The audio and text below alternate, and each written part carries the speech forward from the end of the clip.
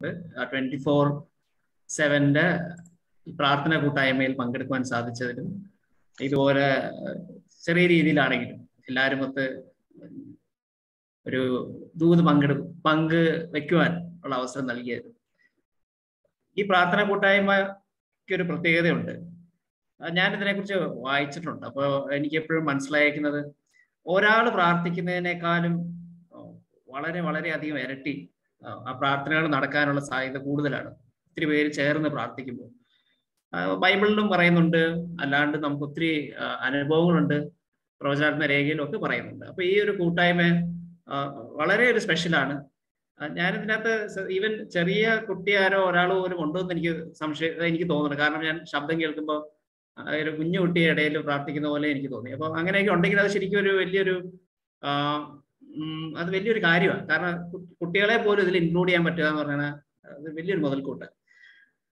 ഞാൻ ഇന്നത്തെ ദൂത് അല്ലെങ്കിൽ ചെറിയൊരു തോട്ട് ചിന്തിക്കാൻ വേണ്ടി തരുന്നതിന് മുമ്പായിട്ട് ഇത് എന്തിനെ കുറിച്ചാണ് ഞാനൊന്ന് പറയാം അതിനു മുമ്പായിട്ട് ഞാൻ ഒരു വാക്കിന്ന് പ്രാർത്ഥിക്കുകയാണ്. ഞങ്ങളെ സ്നേഹിക്കുന്ന ഞങ്ങളുടെ സ്വർഗീയ പിതാവെ അങ്ങയുടെ വചനത്തിൽ നിന്നും അല്ലെങ്കിൽ ഞങ്ങളുടെ ജീവിതവുമായി ബന്ധപ്പെട്ട കാര്യങ്ങളെ കുറിച്ച് ഞങ്ങൾ ചിന്തിക്കുമ്പോൾ അങ്ങയുടെ പരിശുദ്ധാത്മാവിനെ അയച്ച് ഞങ്ങളുടെ ഹൃദയങ്ങളെ അവിടുന്ന് തുടരണമെന്ന് യേശുവിന്റെ നാമത്തിൽ പ്രാർത്ഥിക്കുന്നു. അതുപോലെ തന്നെ ആ ഇത് സംസാരിക്കാൻ തീർത്തും അയോഗ്യനായ ശക്തിയില്ലാത്ത ഈ വ്യക്തിയെ അവിടുന്ന് ഒരു എളിയ ഉപകരണമായി അങ്ങയുടെ കൈകൾ ഉപയോഗിക്കണമെന്ന്. ഇത് കേൾക്കുന്നവർക്ക് ഓരോരുത്തർക്കും പരിശുദ്ധാത്മാവ് മുഖാന്തരം അത് ഹൃദയസ്പർശിയമാവാൻ ഇടയാക്കുന്നു യേശുവിന്റെ നാമത്തിൽ ഏറ്റവും താഴ്മയോടെ യാചിക്കുന്നു നല്ല പിതാവേ നമുക്ക് എല്ലാവർക്കും അറിയാവുന്ന ഒരു കാര്യം. ക്യാൻസർ ഇന്ന് കേരളത്തിലെ വലിയൊരു പ്രശ്നമായി മാറിയിരിക്കുകയാണ്. നമ്മുടെ പ്രാർത്ഥനാ കൂട്ടായ്മകളിൽ പോലും നമ്മൾ പലപ്പോഴും ക്യാൻസർ രോഗികൾക്ക് വേണ്ടി ഒത്തിരി അധികം പ്രാർത്ഥിക്കുന്നതായിട്ട് കാണാം. എനിക്കിതൊരു വ്യക്തിപരമായ കാര്യമാണ് ഒരു ജനറൽ പോപ്പുലേഷൻ നടക്കുന്ന ഒരു പ്രശ്നത്തിനേക്കാൾ ഉപരി എനിക്ക് വ്യക്തിപരമായ ഒരു കാര്യം. അതെന്തുകൊണ്ടാണ് ഞാൻ പറയാം എന്റെ അമ്മയുടെ ഫാമിലി ഞാൻ നോക്കുമ്പോൾ ഒരു ഒത്തിരി പേരും വേണമെങ്കിൽ ഭൂരിപക്ഷം പേരും മരിച്ചിരിക്കുന്നത് ക്യാൻസർ കൊണ്ടാണെന്ന് തന്നെ പറയാം ഞാൻ ചിന്തിച്ചു നോക്കുമ്പോൾ എന്റെ ഗ്രാൻഡ് മദറിന്റെ അമ്മയുടെ അമ്മ ഗ്രാൻഡ് മദറിന്റെ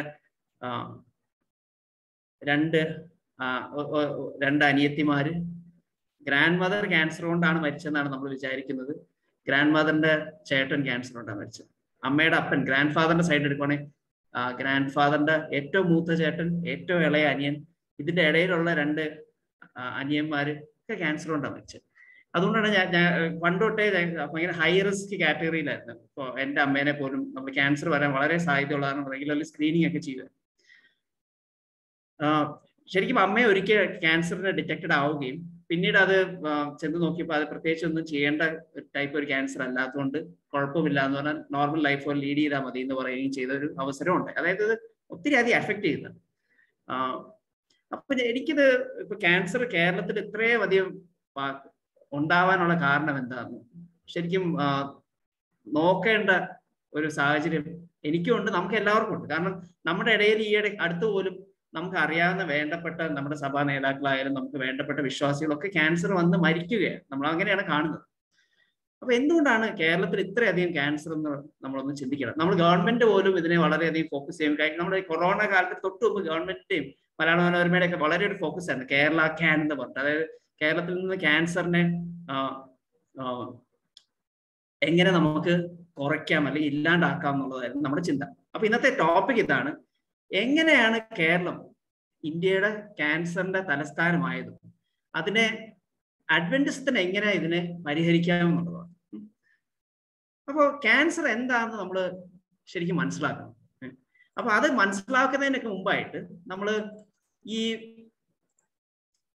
നമ്മുടെ ശരീരത്തിൽ ഡി എൻ എ എന്ന് പറഞ്ഞ ഒരു സാധനമുണ്ട്. അത് കേൾക്കുമ്പോൾ ആരും അത്ര പേടിക്കേണ്ട ആവശ്യമൊന്നുമില്ല. ഡി എന്താന്ന് മനസ്സിലാക്കാൻ പാടുള്ള ഒരു കാര്യമൊന്നും ഡി എൻ എ എന്ന് പറഞ്ഞാൽ ഇങ്ങനെ ഒരു ബയോളജിക്കൽ സെറ്റ് ഓഫ് ഇൻസ്ട്രക്ഷൻസ് ഒരു നമുക്ക് ഒരാൾ ഇന്ന ഇന്ന കാര്യം ചെയ്യണം എന്നുള്ള ചില കൽപ്പനകളാണ് ഡി എൻ എ എന്ന് പറയുന്നത്. അതിൽ പ്രകാരമാണ് നമ്മുടെ ശരീരം ഡെവലപ്പ് ആവുന്നതും നമ്മുടെ ശരീരം ശരീരത്തെ മെയിന്റെയിൻ ചെയ്യണതും നമ്മുടെ സെൽസ് മൾട്ടിപ്ലൈ ചെയ്യണതും ഒക്കെ. അപ്പൊ നമ്മുടെ ചെവി ഈ ഷേപ്പിൽ വരണം എന്നുള്ള അവിടെ ആ ദൈവം ആ പ്രോഗ്രാം എഴുതി വെച്ചിട്ടുണ്ട്. ഇന്ന പോലെയാണ് ഈ ഷേപ്പ് വരേണ്ടത്. അതനുസരിച്ച് സെൽസ് ഇവിടെ മൾട്ടിപ്ലൈ ആണ് നമ്മുടെ മൂക്ക് ഇന്ന ഷേപ്പിൽ പറഞ്ഞാൽ ദൈവം അതിന്റെ കോഡ് എഴുതി വെച്ചേക്കാം. ഇത് പ്രോഗ്രാമിംഗ് കൊണ്ടാണ് ഞാൻ ഈ സോഫ്റ്റ്വെയറിന്റെ ഫീൽഡിൽ വന്നിട്ട് ഡി എൻ എ നോക്കും ഞാൻ നോക്കുമ്പോൾ ഇത് എവല്യൂഷൻ കൊണ്ട് വന്നാൽ ആർക്കും പറയാൻ പറ്റില്ല. കാരണം അതിൽ എനിക്ക് പ്രോഗ്രാമിംഗ് കോഡാണ് ഞാൻ കാണുന്നത് അതിന്റെ അകത്ത്. അങ്ങനെ എഴുതി വെച്ചിരിക്കുന്നത് ഡി എൻ എ അപ്പോൾ ഈ ചില സമയങ്ങളിൽ എന്ത് പറ്റുമെന്ന് വെച്ചാൽ ഈ എഴുതിയിരിക്കുന്ന കോഡിൽ സെൽസ് മൾട്ടിപ്ലൈ ചെയ്യുന്ന സമയത്ത് കോഡിൽ തെറ്റ് വരും. അങ്ങനെ വരുമ്പോൾ എന്താ വെച്ചാൽ ഈ ഇവിടെ ഈ ഷേപ്പ് വെച്ച് നിൽക്കുന്നതിന് പകരം ഇവിടെ നിന്ന് എക്സ്ട്രാ ആയിട്ട് ഗ്രോത്ത് ആയിട്ട് അത് പോകും. അല്ലെങ്കിൽ അത് വേറെ ഇടത്തേക്ക് ആ ഗ്രോത്ത് വന്നിട്ട് അങ്ങോട്ട് സ്പ്രെഡ് ചെയ്ത് സ്പ്രെഡ് ചെയ്ത് പോകും. ഈ കോഡിൽ ചില അപാകതകൾ നമ്മൾ ഒരാൾക്ക് കത്ത് എഴുതി നമ്മൾ ചില ഇൻസ്ട്രക്ഷൻസ് കൊടുക്കുമ്പോൾ നമ്മൾ അറിയാണ്ട് തെറ്റ് വരുത്തി എന്തൊരു അയാൾ തെറ്റായ കാര്യം ചെയ്യും. അതുപോലെ ഈ തെറ്റ് വരുമ്പോഴാണ് മ്യൂട്ടേഷൻ എന്ന് പറയുകയും ആ മ്യൂട്ടേഷൻസ് ആണ് ക്യാൻസറിലേക്ക് ലീഡ് ചെയ്യുകയും ചെയ്യുന്നത്. നമ്മൾ വിചാരിക്കുന്നതിനേക്കാളും കൂടുതൽ ഗ്രോ ചെയ്യും. അത് വേറെ ഇടത്തേക്ക് സ്പ്രെഡ് ചെയ്യും. നമ്മളെ തന്നെ കൊല്ലുന്ന ഒരു അവസ്ഥയാണ് ക്യാൻസർ അപ്പോ ക്യാൻസർ എന്തുകൊണ്ട് വരുന്നു എന്നുള്ളതിനെ കുറിച്ച് എല്ലാവർക്കും ഏറ്റവും ആദ്യം തന്നെ പറയണത് സ്മോക്കിംഗ് കോസസ് ക്യാൻസർ അല്ലെങ്കിൽ സിഗരറ്റ് സ്മോക്കിംഗ് കോസസ് ക്യാൻസർ നമ്മൾ എല്ലാവരും കേട്ടിട്ടുണ്ട്. പക്ഷെ അതിനപ്പുറം ചില കാരണങ്ങളുണ്ട് ഈ ക്യാൻസറിന് ഡെഫിനറ്റ്ലി സിഗരറ്റ് സ്മോക്കിംഗ് ആണ് ഇതിന്റെ ഒരു ലീഡിങ് ഒരു കാരണം അല്ലെ കോസ് പക്ഷെ അതിനപ്പുറം ചില കാരണങ്ങളുണ്ട് ക്യാൻസറിന്റെ പുറത്ത് നമ്മൾ പലപ്പോഴും തിരിച്ചറിയാത്ത ഞാൻ അതിൽ കേരളവുമായി ബന്ധപ്പെട്ട കാര്യങ്ങളാണ് നമുക്കിത് കേൾക്കുമ്പോൾ മനസ്സിലാവുകയും ചെയ്യും.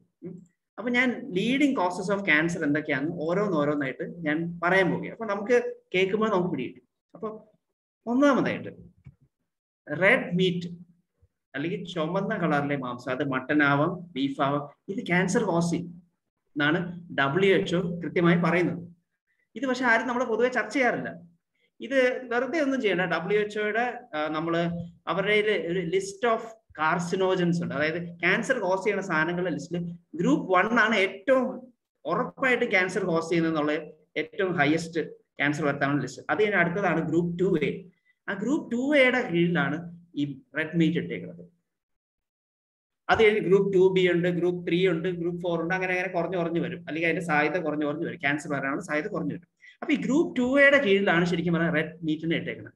അതായത് ബീഫ് മട്ടൻ പോർക്ക് എന്നിങ്ങനെയുള്ള റെഡ് മീറ്റുകളൊക്കെ അപ്പൊ ഈ റെഡ് മീറ്റിന്റെ അതേ കാറ്റഗറിയിലാണ് നമ്മുടെ സിഗരറ്റ് സ്മോക്കിങ്ങിന്റെ അകത്ത് ഉൾപ്പെടുത്തിയിരിക്കുന്ന അല്ലെങ്കിൽ സിഗരറ്റിന്റെ അകത്ത് ഉൾപ്പെടുത്തിയിരിക്കുന്ന കെമിക്കൽസും കിടക്കുന്നത്. അതുകൊണ്ടാണ് നമ്മൾ അറിയേണ്ടത് രണ്ടും ഒരു സിമിലർ പ്രോബബിലിറ്റിയിലാണ് ക്യാൻസർ കോസ് ചെയ്യുന്നത്. ഒരേ ചാൻസസ് ആണ് ക്യാൻസർ കോസ് ചെയ്യുന്നത്. സിഗരറ്റിനകത്തുള്ള കാര്യങ്ങളായാലും റെഡ് മീറ്റ് ആണ് എക്സാക്ട്ലി ഈക്വൽ എന്നല്ല പറയണം രണ്ടും ഒരേ കാറ്റഗറിയിൽ ഡബ്ല്യു എച്ച് ഉൾപ്പെടുത്തിയിരിക്കും നമ്മൾ കേരളത്തിൽ ചിന്തിക്കുകയാണെങ്കിൽ നമ്മുടെ കേരളം എന്ന് പറയുന്നത് ഇന്ത്യയിലെ തന്നെ മീറ്റ് കൺസംഷൻസിലെ മീറ്റ് കൺസംഷനിൽ ഏറ്റവും ഹയസ്റ്റ് ആയിട്ട് മീറ്റ് കൺസ്യൂം ചെയ്യുന്ന സ്റ്റേറ്റ്സിൽ ഒന്നാണ്. അത് നമുക്ക് അറിയാവുന്ന ഒരു കാര്യമാണ്. നമ്മൾ ഒരു ഇന്ത്യയുടെ തന്നെ ഒരു നമ്മൾ നോൺ വെജിറ്റേറിയൻ ഫുഡിന്റെ ഒരു മാപ്പ് എടുക്കുകയാണെങ്കിൽ നമ്മൾ നോക്കുമ്പോഴത്തേക്ക് ഇങ്ങനെയാണ് കാണുന്നത്. ആ ഏറ്റവും കടും ചുവപ്പാണ് ഏറ്റവും കൂടുതൽ നോൺ വെജിറ്റേറിയൻ കഴിക്കുന്ന സ്റ്റേറ്റ്സ് അതിന്റെ അടുത്ത സെറ്റ് കുറച്ച് ഓറഞ്ച് കുറച്ചും കൂടെ ലൈറ്റർ ആവുന്നതാണ് അടുത്ത സെറ്റ് ഏറ്റവും ലൈറ്റ് കളറാണ് ഏറ്റവും കുറവ് മീറ്റ് കൺസ്യൂം ചെയ്യുന്ന അല്ലെങ്കിൽ നോൺ വെജിറ്റേറിയൻ കൺസ്യൂം ചെയ്യുന്ന സ്റ്റേറ്റ്സ് വെള്ള കളറിൽ കിടക്കുന്ന വെച്ചാൽ അതിനെക്കുറിച്ച് നമുക്ക് ഡാറ്റ കിട്ടാത്തതുകൊണ്ട് അവർ വെറുതെ വിട്ടേക്കില്ല അപ്പൊ നമ്മൾ നോക്കുമ്പോൾ ഇതിലെ തന്നെ കേരളത്തിൽ കേരളം തമിഴ്നാട് ആന്ധ്രയിലൊക്കെയാണ് ഏറ്റവും കൂടുതൽ കൺസംഷൻ ഉള്ള സ്റ്റേറ്റ്സ് വെസ്റ്റ് ബംഗാളൊക്കെ അപ്പൊ നമ്മൾ നോക്കുമ്പോഴത്തേക്കും ഇതേ കാരണം കൊണ്ട് തന്നെയാണ് ക്യാൻസറും കേരളത്തിലും ഈ പറഞ്ഞ സംസ്ഥാനങ്ങളിലൊക്കെ വളരെ ഹൈ ആണ്. ഞാൻ ജസ്റ്റ് ഒരു ഇതിനു വേണ്ടി പറഞ്ഞ ഒരു ഉദാഹരണം കാണിക്കാൻ വേണ്ടി പറഞ്ഞു കാരണം നമ്മൾ പലപ്പോഴും ഇതിനെക്കുറിച്ച് നമ്മൾ ഗവൺമെന്റിന്റെ തലത്തിലും ആൾക്കാരുടെ തലത്തിലും ഒക്കെ ചർച്ച ചെയ്യുമ്പോൾ ഇത് മിസ്സായി പോകാറുണ്ട് അപ്പൊ നമ്മളും അതിനെക്കുറിച്ച് അറിയാണ്ട് പോകും. രണ്ടാമത് ക്യാൻസർ ഏറ്റവും കൂടുതൽ ക്യാൻസർ കോസ് ഒരു റീസൺ ഇത് ഇപ്പൊ ഞാൻ ഈ പറയുന്ന ലിസ്റ്റ് ഡബ്ല്യു എച്ച്ഒയുടെ ഇത് പ്രകാരമുള്ള ലിസ്റ്റ് അതായത് ഞാൻ സ്വന്തം കയ്യിൽ നിന്ന് എടുത്ത ഒന്നുകിൽ ഡബ്ല്യു എച്ച്ഒ അല്ലെങ്കിൽ വേൾഡ് ക്യാൻസർ റിസർച്ച് ഫൗണ്ടേഷന്റെ ഇതിൽ നിന്ന് അവർ തരുന്ന ലിസ്റ്റാണ് ഞാൻ രണ്ടാമത്തെ ഒരു കാരണം എന്ന് പറയുന്നത് ഒബീസിറ്റിയാണ് ഒബീസിറ്റി എന്ന് വെച്ചാൽ അമിതവണ്ണം എന്നുള്ളതാണ് നമ്മൾ നോക്കുമ്പോൾ കേരളത്തിന് ഇന്ത്യയിലെ തന്നെ ഏഴാമത്തെ സ്ഥാനമാണ് ആണുങ്ങളുടെ കേസിൽ ഒബീസിറ്റിക്കും പെണ്ണുങ്ങളുടെ കേസിൽ പെണ്ണുങ്ങളുടെ ഏഴാമത്തെ സ്ഥാനം ആണുങ്ങളുടെ എട്ടാമത്തെ സ്ഥാനമാണ് കേരളത്തിൽ ഒബീസിറ്റിക്ക് ഇന്ത്യയിൽ റാങ്ക് ചെയ്യുന്നത് ആണുങ്ങളിൽ ഇരുപത്തെട്ട് ദശാംശം അഞ്ച് പേര് അമിതവണ്ണം ഉള്ളവരും പെണ്ണുങ്ങളിൽ മുപ്പത്തിരണ്ട് ദശാംശം നാല് ശതമാനം ആൾക്കാർ അമിതവണ്ണം ഉള്ളവരുമാണ് കേരളത്തിൽ. അതുകൊണ്ടാണ് കേരളത്തിൽ ക്യാൻസർ കൂടാനുള്ള വേറൊരു കാരണം. മൂന്നാമത് ഡബ്ല്യു എച്ച്ഒ പറഞ്ഞ ഒരു കാരണമാണ് ആൽക്കഹോൾ കൺസംഷൻ ഇപ്പൊ നമ്മൾ സ്മോക്കിങ്ങിനെ കുറിച്ച് എല്ലാവർക്കും അറിയാം. പക്ഷെ ആൽക്കഹോൾ കൺസംഷൻ ക്യാൻസറിന്റെ ഒരു ലീഡിങ് കോസ് ആണ്. നമ്മൾ ഉദാഹരണം പറയാൻ mouth pharynx larynx oesophageal cancer breast cancer colorectal cancer stomach cancer liver cancer ഇങ്ങനത്തെ ക്യാൻസറുകളൊക്കെ ആൽക്കഹോൾ കാരണം വരും. അതും നമ്മൾ ഈ നമ്മൾ കേരളത്തിനെ കുറിച്ച് നമ്മൾ ചിന്തിക്കുമ്പോൾ എല്ലാ വർഷവും നമുക്കറിയാം അല്ലെ? ക്രിസ്മസ് ഈസ്റ്റർ ഓണം എന്നിങ്ങനെ ഫെസ്റ്റിവൽസ് കഴിയുമ്പോൾ നമ്മൾ കണക്ക് വരും. കേരളത്തിൽ ഒത്തിരി അധികം ആൽക്കഹോൾ കൺസ്യൂം ചെയ്യുന്നതിന്റെ കണക്കുകൾ വരും. ഇത്ര മദ്യം ചെലവായി എന്ന് പറഞ്ഞാൽ നമ്മളത് വളരെ അധികം വാർത്തയിലൊക്കെ പ്രാധാന്യം നേടുന്നത് പിന്നെ ഒരു ഗുണം എന്ന് വെച്ചാൽ കേരളത്തിൽ കഴിഞ്ഞ നാല് വർഷമായിട്ട് ആൽക്കഹോൾ കൺസംഷൻ ആക്ച്വലി കുറഞ്ഞു വരുന്നുണ്ട്. അതൊരു നല്ല സൈനാണ് കേരളത്തിനെ സംബന്ധിച്ചിടത്തോളം എന്നാലും ഇന്ത്യയിലെ തന്നെ ലീഡിങ് ആൽക്കഹോൾ കൺസ്യൂം ചെയ്യുന്ന സ്റ്റേറ്റുകളിൽ ഒന്നായിട്ട് കേരളം ഇന്നും വരും. അതുകൊണ്ടാണ് കേരളത്തിൽ ക്യാൻസറിന്റെ അളവ് കൂടുതലാവാൻ കാരണം. പിന്നെ നമ്മൾ ക്യാൻസർ കൂടാനുള്ള ഒരു കാരണം ഡബ്ല്യു എച്ച്ഒ പറയണമെന്ന് വെച്ചാൽ ഫിസിക്കൽ ഇന്നാക്ടിവിറ്റി അതായത് നമ്മൾ പണി ശരീരം അനങ്ങിയുള്ള പണി. അത് എനിക്ക് ഉൾപ്പെടെ ഉള്ള ഒരു പ്രശ്നം കാരണം നമ്മൾ ജോലി ചെയ്യുന്ന സ്ഥലങ്ങളിൽ പലപ്പോഴും നമുക്ക് അധികം മേലനങ്ങി പണിയേണ്ട വരത്തില്ല. പണ്ടത്തെ ആൾക്കാർ നല്ലോണം കൃഷി ചെയ്തും മറ്റും ജീവിച്ചിരുന്നു. അപ്പൊ ഇന്ന് നമുക്ക് എല്ലാവരും നമ്മൾ പ്രത്യേകിച്ച് നമ്മൾ മലയാളികളുടെ നമ്മൾ നോക്കുകയാണെങ്കിൽ നമ്മൾ വൈറ്റ് കോളർ ജോബ്സ് നമ്മൾ കൂടുതലും ഹാൻഡിൽ ചെയ്യണം നമ്മൾ ഒന്നുകിൽ മിഡിൽ ഈസ്റ്റ് ജോലി ആയിരിക്കും നമ്മൾ അല്ലെങ്കിൽ മെഡിക്കൽ ഫീൽഡിലായിരിക്കും അല്ലെങ്കിൽ നമ്മൾ ഐ ടി സെക്ടറിലായിരിക്കും മറ്റ് നമ്മുടെ അതിൽ കൃഷിക്കാരുടെ ഇളവ് കുറവാണ് നമ്മുടെ അതിൽ കൺസ്ട്രക്ഷൻ തൊഴിലാളികൾ കുറവാണ് കാരണം ഇപ്പൊ അതൊക്കെ മറ്റ് സംസ്ഥാനങ്ങൾ നമ്മൾ ഇങ്ങോട്ട് ഇറക്കുമതി ചെയ്യുകയാണ്. അതുകൊണ്ട് തന്നെ ഈ ഫിസിക്കൽ ഇനാക്ടിവിറ്റി ഒരു മേജർ റീസൺ ആണ് കേരളത്തിൽ. അത് ഒന്നും നമ്മൾ നമ്മളൊന്ന് നമ്മളെ തന്നെ പണ്ടത്തെ നമ്മളും ഇപ്പോഴത്തെ നമ്മൾ നമ്മളൊന്ന് ചിന്തിച്ചാൽ മതി. നമ്മൾ ആരെയും കുറ്റപ്പെടുത്താനോ ജഡ്ജ് ചെയ്യാനോ ഒന്നും അല്ല. ഇത് ഒരു ഈ പറഞ്ഞ എല്ലാ പോയിന്റ്സും തന്നെ നമ്മൾ ആര് വേണേലും ഇതിനകത്ത് പെട്ടുപോകുന്നത് പക്ഷെ ഇതാണ് കേരളത്തിന് ഇത് കോസ് ചെയ്യാനുള്ള കാരണം. ഈ ഫിസിക്കൽ ഇനാക്ടിവിറ്റി കൊണ്ട് വളരെ സ്ട്രോങ് എവിഡൻസ് ഉണ്ടെന്നാണ് world cancer research fund international പറയുന്നത്. Colon cancer breast cancer endometrial cancer ഒക്കെ. അതുപോലെ തന്നെ ഈ വിഗറസ് ഫിസിക്കൽ ആക്ടിവിറ്റി അത് ശരിക്കും ബ്രസ്റ്റ് ക്യാൻസറിനെ വളരെയധികം കുറയ്ക്കാൻ സഹായിക്കും എന്നാണ് പറയുന്നത്. അതുപോലെ ഒരു പ്രധാനപ്പെട്ട ക്യാൻസർ കോസ് ചെയ്യാനുള്ള കാരണമായിട്ട് ഡബ്ല്യു എച്ച്ഒ പറയുന്നതാണ് പൂവർ ഡയറ്റ് എന്ന് പൂവർ ഡയറ്റ് എന്ന് പറഞ്ഞാൽ പലപ്പോഴും ഈ ഡയറ്റ് നമ്മൾ കഴിക്കുമ്പോഴേ നമ്മൾ മലയാളികൾ നമ്മൾ നമ്മൾ ചിലപ്പോൾ പലപ്പോഴും സാഹചര്യം കൂടെ കൊണ്ടാണ് നമ്മൾ അതുകൊണ്ട് ആരെയും നമ്മൾ ഇത് വെച്ച് വിധിക്കാനും കുറ്റം പറയാനും ഒന്നും നമ്മൾ ചിലപ്പോൾ ഒരു ചോറും ഒരു മീൻകറിയും കൂടെ കൂട്ടി നമ്മുടെ ഒരു രാത്രിത്തെ നമ്മുടെ ആഹാരം അല്ലെങ്കിൽ ഒരു ഉച്ചക്കത്തെ ഒരു ആഹാരം നമ്മൾ ഒതുക്കും. അപ്പൊ ഇങ്ങനെ ചെയ്യുമ്പോൾ എന്താ കുഴപ്പമെന്ന് വെച്ചാൽ ഈ വേൾഡ് ക്യാൻസർ റിസർച്ച് ഫണ്ട് ഇന്റർനാഷണലിന്റെ ഒക്കെ വളരെ അവരുടെ സ്റ്റഡീസിൽ വളരെ സ്ട്രോങ് എവിഡൻസ് ഉണ്ട്. ഹോൾ ഗ്രെയിൻസ് മുഴുവനായിട്ടുള്ള ധാന്യങ്ങൾ കോളോറെക്ടൽ ക്യാൻസറിനെ കുറയ്ക്കും. നമ്മുടെ ഈ കോളൻ റെക്ട റെക്ടം ആ ഏരിയാസിലെ ക്യാൻസറിനെ കുറയ്ക്കും.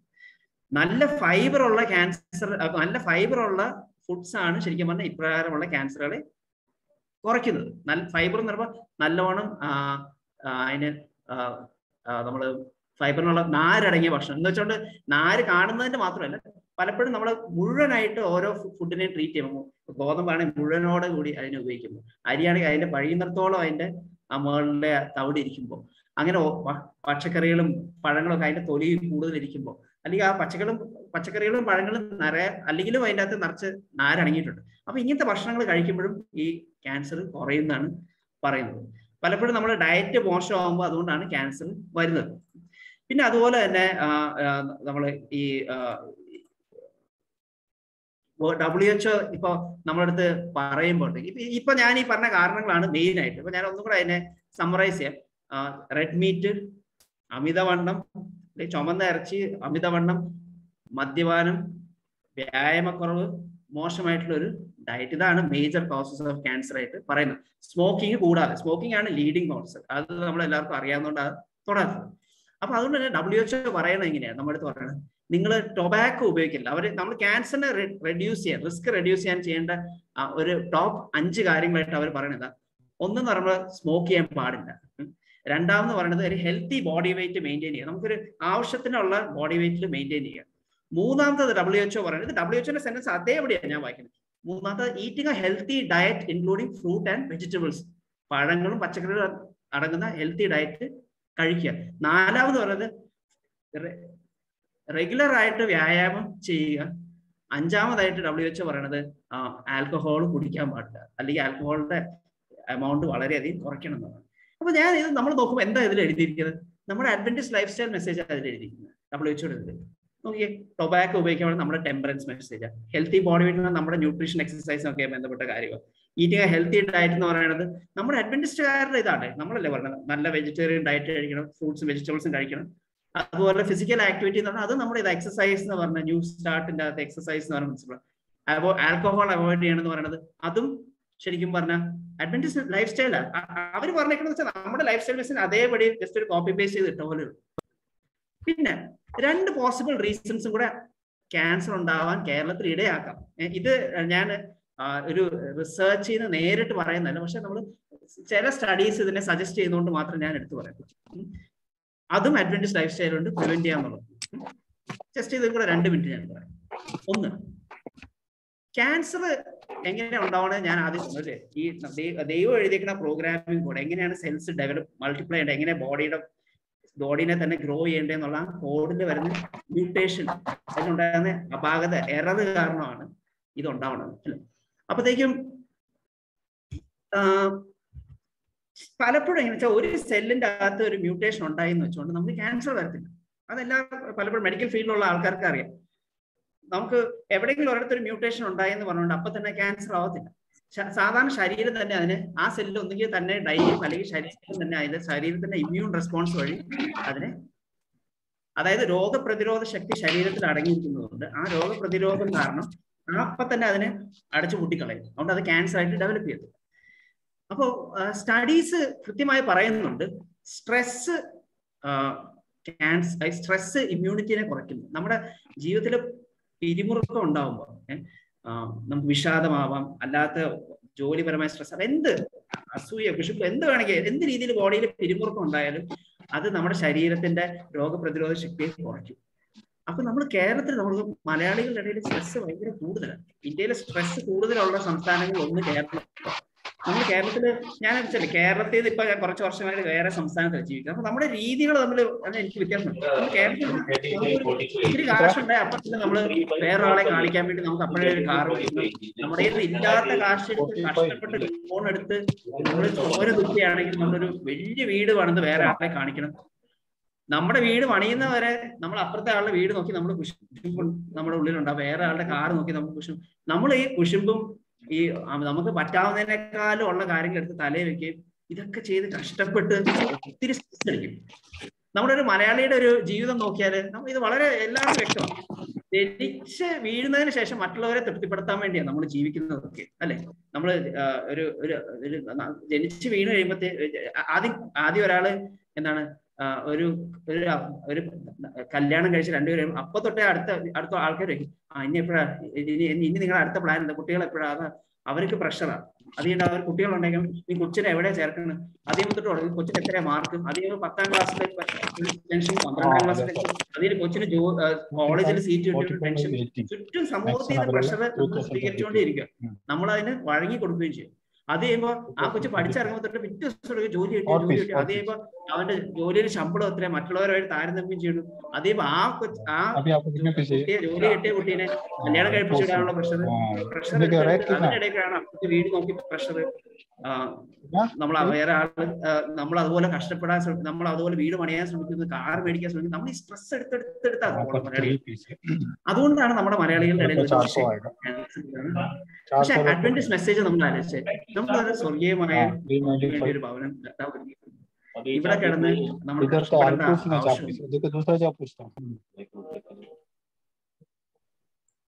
നമ്മൾ സ്വർഗത്തിലേക്കുള്ള യാത്രയാണ് അപ്പൊ തന്നെ നമ്മുടെ സ്ട്രെസ് ഒക്കെ മാറി. ദൈവത്തിൽ ആശ്രയിക്കുക നമ്മുടെ സ്ട്രെസ് ഒക്കെ മാറി. അത് ക്യാൻസറിനെ ഇതിപ്പോ ഇതിന്റെ റിസർച്ച് പേപ്പർ ഒന്നും ഇല്ലെങ്കിലും നമ്മൾ കോമൺ സെൻസ് വെച്ച് കേരളത്തിലെ വളരെ പിരിമുറുക്കം നിറഞ്ഞ നമ്മൾ മനുഷ്യരുടെ മുഖത്ത് നോക്കുമ്പോൾ എല്ലാവരും ഇങ്ങനെ ആൾക്കാർ നമ്മൾ വഴിയിലെ റോഡിൽ രണ്ടുപേരും പിന്നെ റോഡിലൊന്ന് വണ്ടി ക്രോസ് ചെയ്താൽ ആൾക്കാരെല്ലാവരും ഇങ്ങനെ പിരിമുറുക്കത്തിൽ അതാണ് ഈ പൊട്ടിത്തെറി ഉണ്ടാവുന്നത്. ഈ പിരിമുറുക്കത്തിൽ നിന്ന് എല്ലാവരെയും റിലാ വിടാൻ വേണ്ടിയിട്ട് അഡ്വന്റിസത്തിന് മാത്രമേ സാധിക്കത്തുള്ളൂ. പിന്നെ ഒരു റീസൺ കൂടെ ഞാൻ പറയാം. ഇത് ഇതും ഇതുപോലെ നേരെ റിസർച്ച് ചെയ്ത് കാണിക്കാൻ പറ്റില്ലെങ്കിലും നമ്മൾ ഇതൊരു റീസൺ ആയിട്ട് കാണും. നമ്മുടെ കേരളത്തിലെ ആൾക്കാർ നമ്മുടെ ഒരു പ്രൈം നമ്മുടെ ജീവിതത്തിന്റെ ഒരു പ്രധാന ഭാഗമാണ് നമ്മൾ ഫിഷ് കഴിക്കുക എന്നുള്ളത് അല്ലെ? പ്രത്യേകിച്ച് നമ്മൾ കടൽ മീൻ കഴിക്കുമ്പോൾ അപ്പോൾ എല്ലാവരും കോമൺലി ആക്സെപ്റ്റ് ആയിട്ടുള്ള ഒരു കാര്യം. ഇപ്പൊ നമ്മൾ പ്രഗ്നന്റ് ആയിട്ടുള്ള വുമണിന് കടൽ മീൻ കഴിക്കാമെന്ന് വെച്ചാൽ ഡബ്ല്യു എച്ച്ഒയുടെ ഇത് പ്രകാരം കഴിക്കാൻ പാടില്ല എന്നുള്ളതാണ് നമ്മൾ അതുപോലെ തന്നെ ആനിമൽസിനെ കുറിച്ച് ഇപ്പൊ ഞങ്ങൾ വീട്ടിൽ ഞാനൊരു പട്ടീനെ വളർത്തും.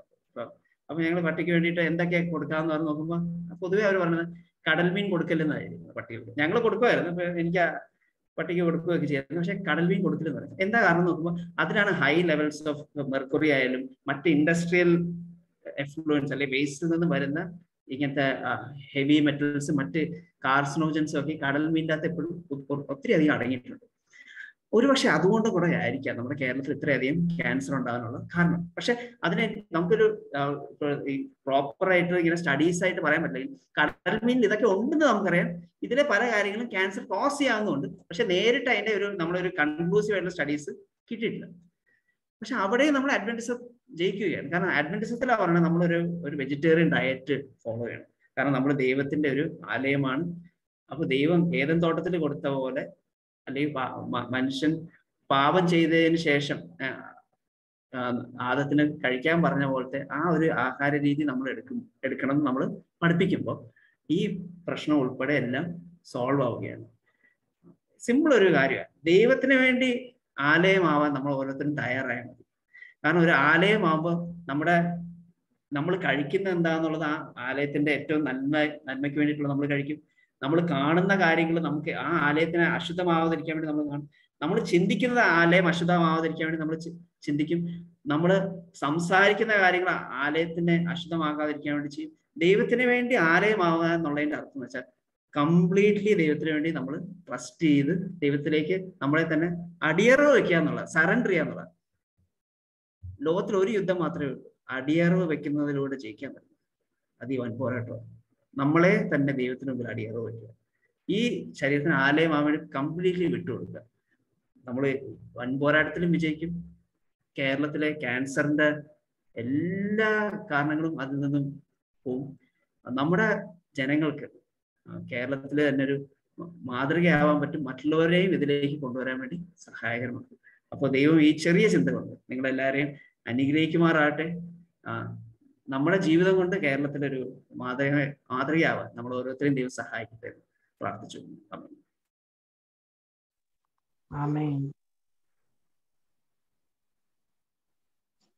വളരെ നല്ല ഹെൽത്ത് മെസ്സേജ് തന്ന് ബ്രദർ ജേക്കബ് കുന്തരയ്ക്ക് നന്ദി പറയുന്നു. ദൈവം പ്രിയ മകനെ ധാരാളമായി അനുഗ്രഹിക്കട്ടെ എന്ന് പ്രാർത്ഥിക്കുന്നു. ഇപ്പോൾ ചില അറിയിപ്പുകൾ നിങ്ങളെ അറിവിലേക്ക് പറയാൻ ആഗ്രഹിക്കുന്നു. ഈ twenty four seven united prayer കൂട്ടായ്മ ഇന്ത്യയിൽ നാല് ഭാഷകളിൽ നടത്തപ്പെടുന്നു. ഇംഗ്ലീഷ് പ്രയർ കോൾ എല്ലാ ദിവസവും ആറ് പതിനഞ്ചിനും തമിഴ് പ്രയർ കോൾ എല്ലാ ദിവസവും ആറ് മണിക്കും.